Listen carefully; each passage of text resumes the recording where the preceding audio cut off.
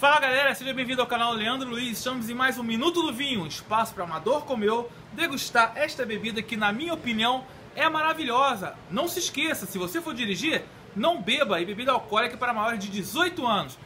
Esse vinho, o vinho de hoje, dessa sexta-feira maravilhosa, é um vinho que já tem pedido já durante um bom tempo nos comentários, pessoalmente, um vinho particular que uma pessoa muito próxima a mim gosta bastante. Como vocês podem ver, hoje o clima é outro, estou aqui num clima tropical para falar desse vinho aqui, maravilhoso por sinal, que combina muito bem com um clima quente como esse que está aqui. Adivinha que vinho é esse? Adivinha, galera? Vou pegar aqui para mostrar para vocês. Olha, olha, vamos degustar. É esse aqui, ó.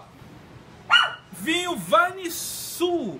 Vanisul lá da Serra Gaúcha, tá? Um vinho que tem pedido aí de muita galera e hoje eu vou degustar, é um vinho que entra naquela categoria de vinhos de mercado e vinhos com preço mais acessível. Ele custou 21 reais numa garrafa de 2 litros e vou usar alguns critérios para avaliá-lo, tá? Espero que vocês gostem, uma boa pedida, tá bom, pessoal? Ó, saúde! Nossa, muito bom! É, com o clima que está, né, quente, ele combina muito bem, porque é um vinho refrescante, que a gente pode dizer, tá? Então, ele é um vinho com acidez, acidez perdão, leve. É um vinho com acidez bem leve, não é muito ácido.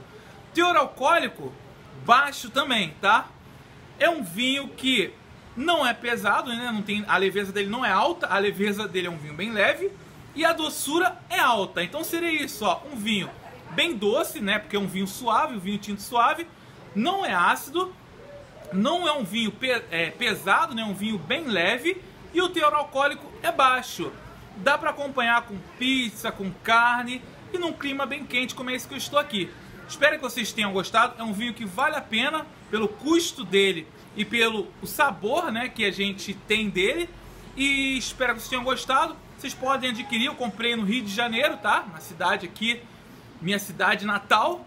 E fica a dica para vocês, tá bom, pessoal? Abração, viva a vida, seja feliz, pratique o bem sempre. Tchau, tchau.